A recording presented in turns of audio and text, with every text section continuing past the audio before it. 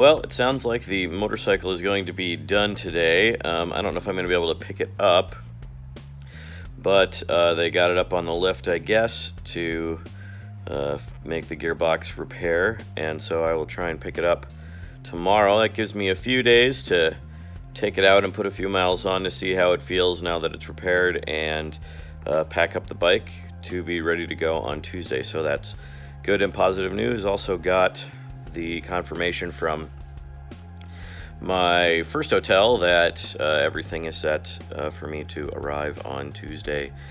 So the plan will be to uh, get on the road hopefully about 12 o'clock noon. Not sure how much actual footage of riding I'm gonna get because I decided to opt out of uh, a GoPro this year with the cost of the oh, excuse me uh, the repairs and the um, uh, wedding coming up. I think I'm gonna hold off on that for now and so I'll just try and take a lot of pictures as I stop and uh, get some shots of uh, what it's like being out on the open road and maybe include those in a video at some point.